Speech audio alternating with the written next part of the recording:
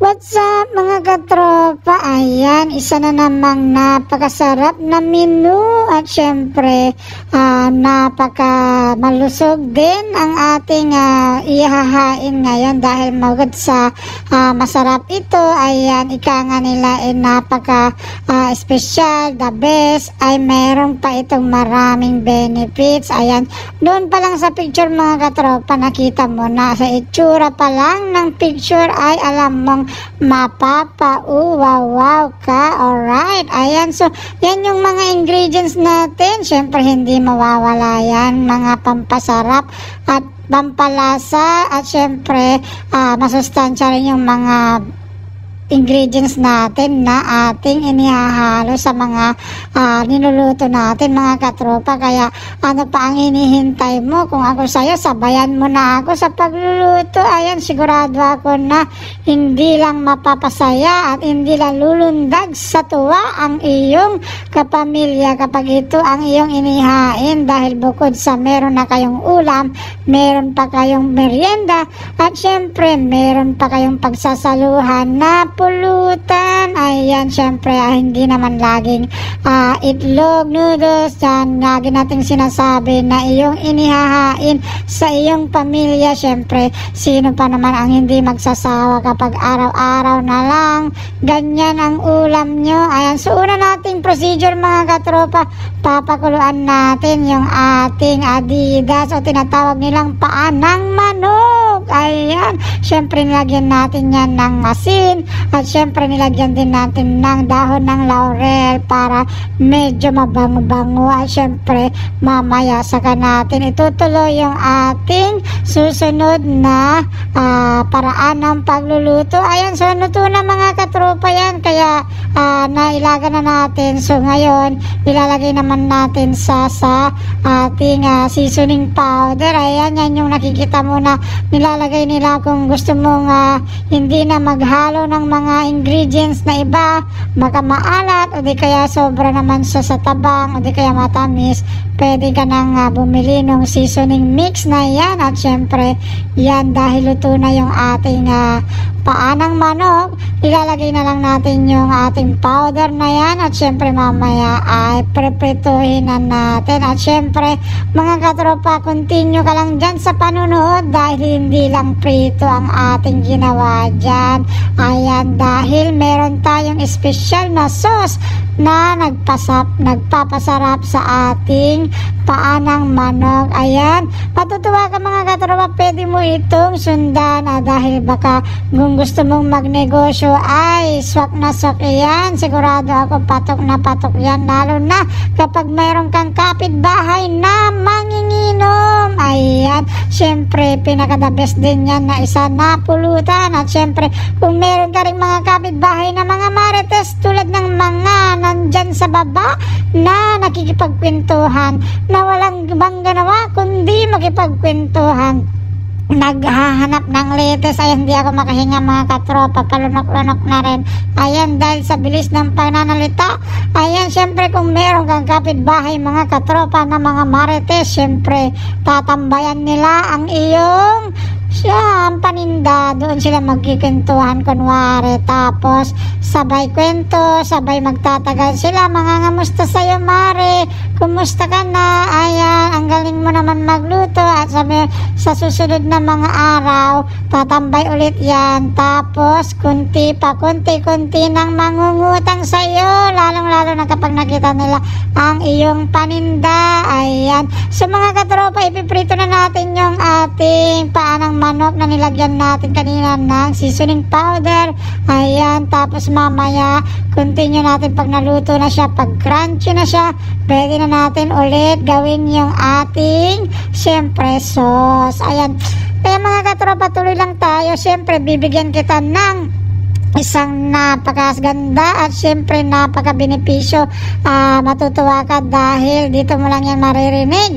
Ayan ang bilis ko magsalita. Medyo nauhaw na ako. Ayan mga katropa syempre dahil paanang manok o tinatawag nating adidas ang uh, ating niluluto ngayon na ingredients bibigyan kita ng isang uh, trivia tungkol dito ayan syempre bibigyan din kita ng mga magagandang ah, benepisyo na meron itong ating paanang manok. Ayan, so unang kong tanong sa'yo, katropa, sagutin mo ng maayos, syempre. Paan, ano ba, alam mo ba kung bakit tinawag na Adidas ang paanang manok? Ayan, syempre hindi mo alam. Syempre dito mo lang din yan matututunan.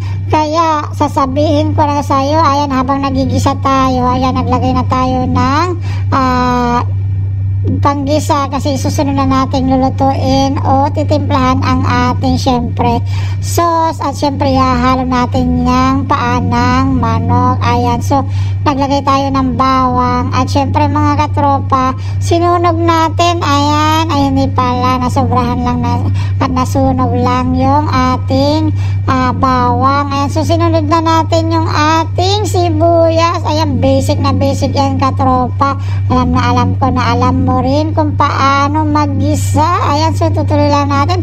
At ayan na mga katropa, nilagay na natin ang ating tomato sauce. Kung wala kang tomato sauce, meron dyan sa tindahan. Pwede kang bumili. Kung wala kang pambili, pwede kang umutang. Palista mo muna, sabihin mo sa sahod na yung bayad. Ayan, di ba? Napaka-basic mga katropa. Halo-haluin lang natin yan, syempre, para maghalo-halo at mag-mix na yung mga ingredients.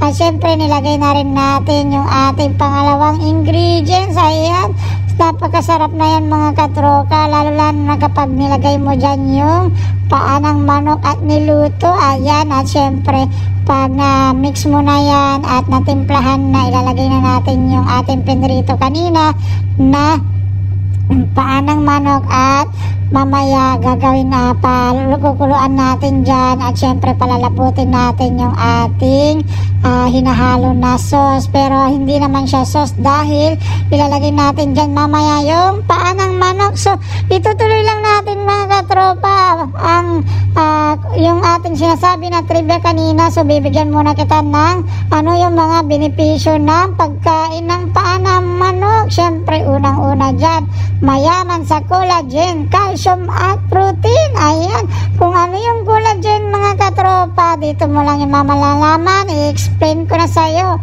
Ang collagen ay sa salitang cola na ang ibig sabihin ay Coca-Cola at syempre yung gin ay kinuha rin sa salitang gin bilog or gin pomelo kaya ang ibig sabihin ng collagen ay Coca-Cola na pinagsamang gin. Ayan, so ang ah, saktong-sakto dahil yung niluluto natin ay paanang manok. Ayan, syempre, yan yung pangpadulas, yung ating collagen. Ayan, Coca-Cola saka gin bilog. Kaya naging collagen. Ayan, so Itutuloy lang natin mga katropa. Susunod, yung calcium. Alam mo ba yung calcium? Siyempre, hindi mo alam dahil English. Baka dumudugo yung ilong mo tuwing nag-aaral ka nung ah, pumapasok ka pa. Kaya hindi mo yan siyempre na-absorb. Ayan, so, ayan katropa, nilagay na natin yung mga ibang seasoning. Ayan, ihahalo lang natin yung mga seasoning na pinakita natin kanina. Mimix lang, mix lang natin yan, siyempre. At mamaya, ah, titignan natin yung lasa. Siyempre, titikman natin. Hindi pala natin titignan kasi pag tinignan natin, hindi natin malalaman kung masarap o hindi. Ayan. So, titikman natin. Ayan. So, tuloy lang natin mga katropa. Ayan yung calcium. Yan yung mayaman at good for your bones. Ayan, syempre kasama na rin yung protein. Ayan. Kung ano yung mga yan, aba, ikaw na lang bahala mag-research. Basta sinabi ko, yung calcium ay maganda sa iyong boto-boto. Ayan, lalo-lalo na ah, sa iyong ngipin. Ayan, kung wala kang ngipin, kumain ka ng calcium. Baka ah, kumain ka ng is, ah, mga pagkain na mayaman sa calcium, baka tumbid, kahit matanda ka na, tumubo pa ang iyong ngipin. Ayan, so, ayan ha, katropa, nilagay na natin yung ating ah, paanang manok, syempre, ihahalo-halo lang natin yan. Spread natin para maghalo at syempre maging masarap palalo ang ating ah, niluto kanina, pinakuluan at pinrito na paanang manok. So, pangalawang ah, benepisyo meron ang pag, sa pagkain ng paanang manok, pampatibay ng mga buto at ngipin. Ayan, yun na nga yung sinasabi ko, pampatibay ng buto. Ayan, yan, pero hindi yan yung buto na meron ka dyan sa baba na kahit na hawakan mo eh matigas pero talagang hindi naman siya buto. Siyempre merong ngipin din. Ayan, pinapalakas ang immune system. Ayan, puro pang uh, pampasarap pala at pampasaya ang pwede mong makuha na benepisyo sa pagkain ng manok.